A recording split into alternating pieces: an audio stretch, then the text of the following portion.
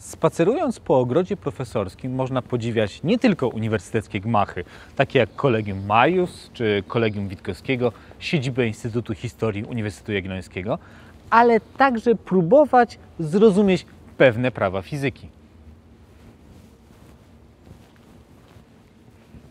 XIX wiek był okresem dynamicznego rozwoju przemysłu. Powstawały nowe ośrodki przemysłowe. To była era nie tylko wybitnych naukowców, ale i genialnych wizjonerów, których idee udało się zrealizować dopiero 100 lat później. Postacie takie jak Edison, Tesla czy Marconi są powszechnie znane, ale warto podkreślić dokonania polskich naukowców. One także miały ogromny wpływ na otaczającą nas rzeczywistość. Dosłownie zmieniły oblicze świata. Dzisiaj chciałbym porozmawiać z naszym ekspertem o dokonaniach polskich naukowców w zakresie nauk przyrodniczych.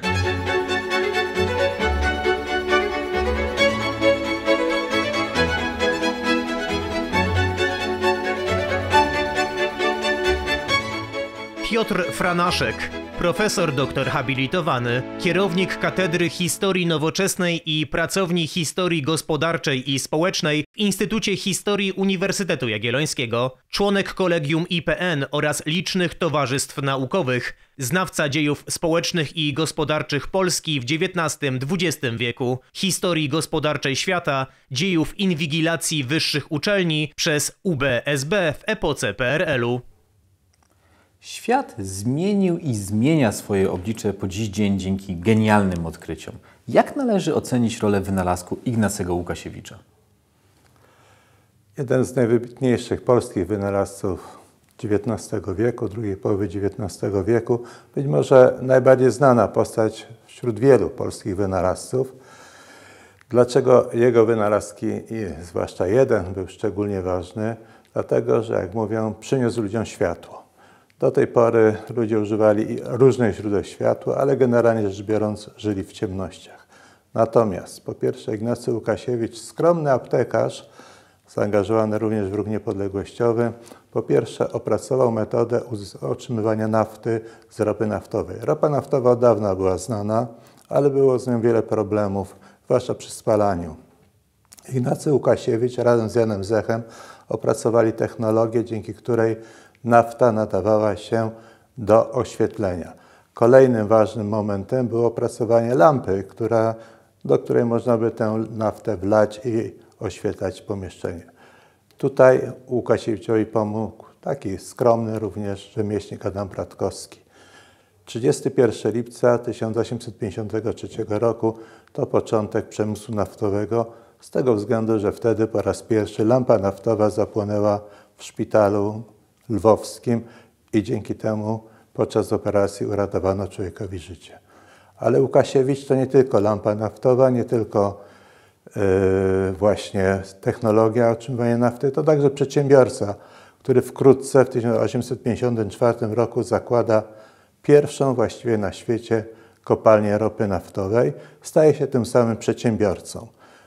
Nie kończy właśnie na tym, uważa, że należy mieć także własną rafinerię. Pierwsza rafineria w Galicji to także założona przez Łukasiewicza rafineria w Ulaszowicach.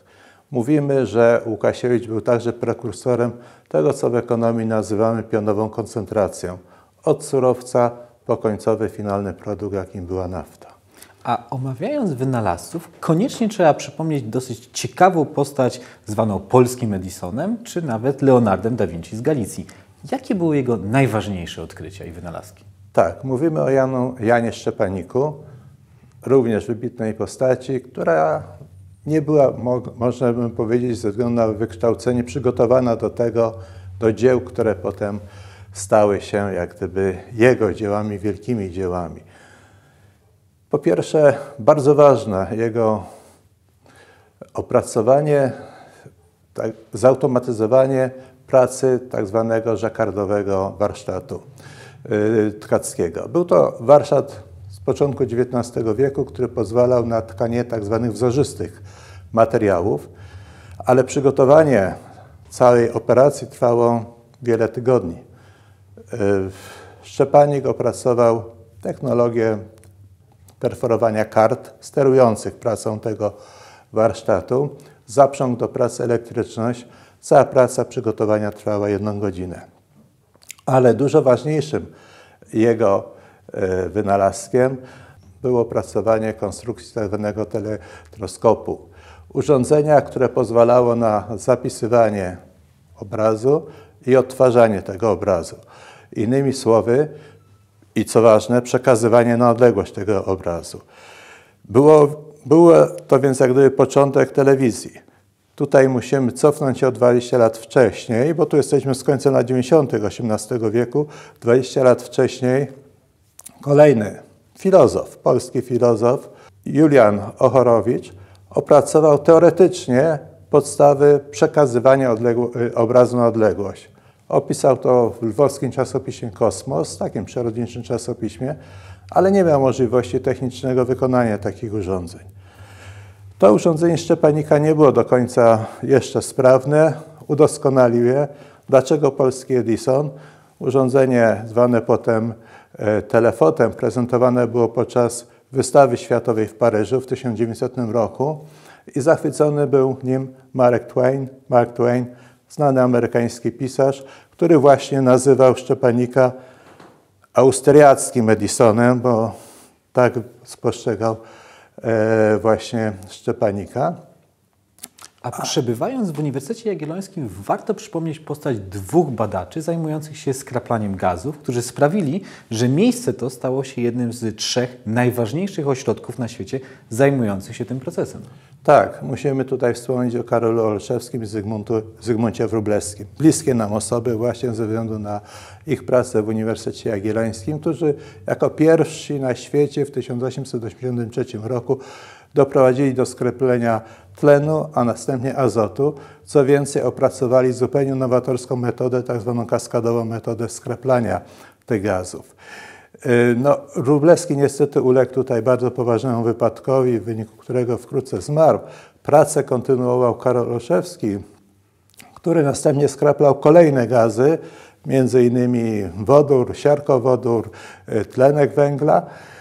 Y, także mało tego opracował stosowaną powszechnie na świecie aparaturę do sklepiania wodoru. Olszewski jest także znany jeszcze z jednego powodu. Mianowicie jako pierwszy na ziemiach polskich wykonał zdjęcie rentgenowskie i to wkrótce po tym, gdy opisała, opisała to y, wiedeńska gazeta Die Presse. Razem z swoimi asystentami zbudował bardzo prymitywny jeszcze generator promieni rentgena i następnie wykonywali te zdjęcia. Mało tego, jako pierwszy wykonał zdjęcie dla celów medycznych na prośbę chirurga Alfreda Obalińskiego. Bardzo ważne w tym czasie wydarzenie, mhm, pozwalające na właściwą diagnozę.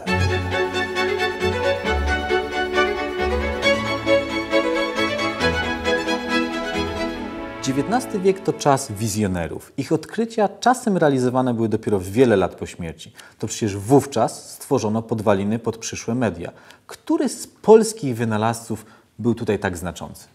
No, mówiąc o początkach mediów, a w szczególności kinematografii, nie możemy nie wspomnieć o Kazimierzu Pruszyńskim. Wybitnym wynalazcy, operatorze filmowym, reżyserze poniekąd, producencie filmowym i szereg jeszcze innych określeń można by na niego zna znaleźć. To był człowiek, rzeczywiście inżynier z wykształcenia, ale pierwszy jego taki znaczący wynalazek, konstrukcja to tak zwany pleograf, urządzenie do nagrywania i odtwarzania filmów. Trzeba wspomnieć tutaj, że Pruszyński wyprzedził braci Limier, chociaż oni w powszechnym odbiorze są uznawani za twórców kinematografii. Jego film y, Ślizgawka w łazienkach była pierwszym filmem, rok przed filmem braci Limier. Na tym nie skończył swojej działalności. Dążył do udoskonalenia filmów. Y, bardzo poważnym problemem przy wyświetlaniu filmów były wtedy drgania obrazów i tutaj rzeczywiście Pruszyński ma ogromne, ogromny wkład w eliminację tego problemu. Mianowicie po pierwsze najpierw zbudował tak zwany biopleograf, czyli urządzenie, gdzie jednocześnie wyświetlano dwa dwa filmy, te same filmy z lekkim przesunięciem czasowym, więc to eliminowało miganie takie obrazu. Po drugie, znany jest tego, że zbudował taki chwytak do przesuwania taśmy filmowej, a przede wszystkim zbudował tak zwany obturator, urządzenie, które całkowicie eliminowało miganie na obrazie. Firma francuska filmowa Gaumont bardzo szybko wykorzystywała to w swoich aparatach filmowych. Ale na tym nie koniec. Jeśli chodzi o Pruszyńskiego, przede wszystkim zbudował pierwszą przenośną kamerę filmową, zwaną aeroskopem. Co ważne, kamera ta była wprawiana w ruch przy pomocy sprężonego powietrza. Wcześniejsze kamery operator musiał kręcić korbą, żeby przesuwać film. Tutaj film się przesuwał automatycznie. Operator koncentrował się tylko na kadrowaniu, na ustawianiu obrazu. Kamera ta była w powszechnym użyciu od, mniej więcej od początku drugiej dekady XX wieku. Sam Pruszyński znany jest z tego, że jeździł na dorożce czy dorożką ulicami Paryża i nagrywał życie codzienne ulicy Paryża.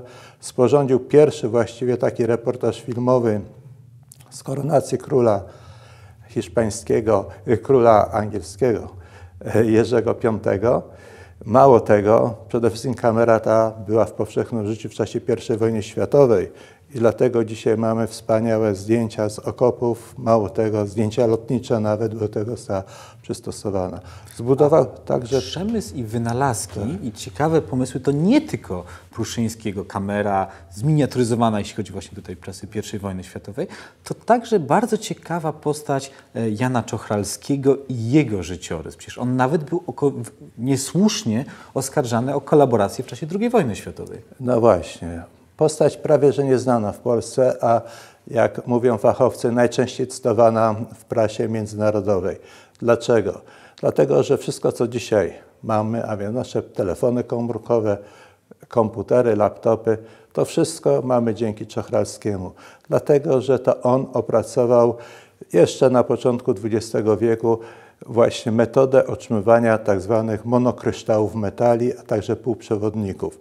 Czyli to, co dzisiaj jest podstawą tzw. Tak Doliny Krzemowej, jako że w roku 1954 zbudowano w Stanach Zjednoczonych pierwszy tranzystor, a następnie obwody scalone właśnie dzięki metodzie Czochralskiego. W jego czasach ta metoda nie miała zastosowania praktycznego, niemniej jednak to ta, on także jak gdyby założył podwaliny pod przyszłą elektronikę. Czochralski jest znany także z innego wielkiego wynalazku. Był poddanym niemieckim. Dlatego też pracował w Niemczech, we Frankfurcie nad Menem, opracował... Jeszcze kolejnictwo niemieckie. Właśnie, opracował metodę otrzymywania stopu używanego w łożyskach, tak zwanego bezcynowego, co było bardzo ważne w przypadku Niemiec, które miały embargo na import cyny, jak również cyna była dosyć droga. Ten, y, ten tak zwany B-metal, od ban-metal po niemiecku, był wykorzystywany właśnie do produkcji łożysk kolejowych da, i wtedy też inne kraje wykorzystywały patent Czochralskiego y, w swoich urządzeniach, w swoich maszynach, dzięki czemu Czochralski stał się bardzo majętnym człowiekiem. W 1928 roku wraca do Polski, zrzeka się obywatelstwa niemieckiego, czego Niemcy zresztą nie uznali i pracuje tutaj dla wojska. To było bardzo ważne, bo otrzymuje ogromne fundusze, możliwości zatrudnienia e, swoich ludzi w laboratorium, które, czy właściwie to był instytut, e, zorganizował na Politechnice Warszawskiej. W czasie wojny Niemcy, uważając go za Niemców, Niemca pozwalali mu także pracować e, nad problemami metaloznawstwa i metalokrystalografii itd., tak itd., tak dzięki czemu Czochralski zatrudnia współpracowników Politechniki Warszawskiej, którzy dzięki temu unikali aresztowania, wywiezienia do obozów koncentracyjnych. Ale niestety po wojnie władze komunistyczne uznały to za fakt współpracy, kolaboracji z okupantem niemieckim. Czochralski znalazł się w więzieniu. Nawet władze komunistyczne musiały uznać jego niewinność, został zwolniony, ale i tak był prześladowany przez Urząd Bezpieczeństwa. Co więcej, jego koledzy z Politechniki Warszawskiej wyrzucili go z pracy. Po jednej z rewizji, którą przeprowadziła w jego mieszkaniu mm, funkcjonariusze Urzędu Bezpieczeństwa, Y, No, Czochralski po prostu nie wytrzymał i zmarł na serce. To był rok 1953. Paradoksalnie w roku następnym opracowano pierwszy tranzystor zgodnie z jego właśnie y, metodą. Czyli fascynująca postać, genialny wynalazca, ale także i mecenas kultury. ogromny mecenas kultury, mając ogromne dochody, zwłaszcza z tych wszystkich patentów, nie zachował ich dla siebie, finansował dla nas historyków bardzo ważne wykopaliska w Biskupinie. Finansował, czy współfinansował odnowienie dworku Chopina w Żelazowej Woli. Zbierał dzieła sztuki, które finansował. Fundował stypendia dla studentów. Y, Stworzył swego rodzaju taki salon kultury w, swoim, w swojej willi w Warszawie. Jednym słowem, bez polskich wynalazców świat nie byłby taki jak obecnie. Nie byłby taki jak obecnie. Moglibyśmy długo jeszcze o tym rozmawiać, bo to jest możemy napisać całą książkę o polskich wynalazcach, którzy rzeczywiście no, zmieniali oblicze e, techniki, oblicze świata. Problem tylko, jak uważam, polega na tym, że nie zawsze umieliśmy odpowiednio zapromować, jak to się ładnie dzisiaj mówi, e, tych swoich wynalazków i często to inni korzystają z tych naszych patentów i naszych wynalazków. Co więcej, sobie przypisują właśnie pierwszeństwo.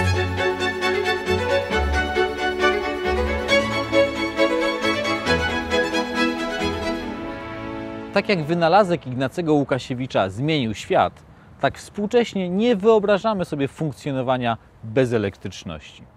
Wynalazki z XIX i początku XX wieku przeobraziły niemal każdą sferę życia. Dobrym przykładem jest budynek starej elektrowni w Krakowie, niegdyś zasilający w prąd Podgórze, a obecnie znajduje się tam ośrodek dokumentacji sztuki Tadeusza Kantora, czyli Krikoteka. XIX i XX wiek obfitowały w wybitnych naukowców, w tym także tych związanych z dziejami naszego uniwersytetu oraz prawdziwych wizjonerów, których działalność przybliżył profesor Franaszek.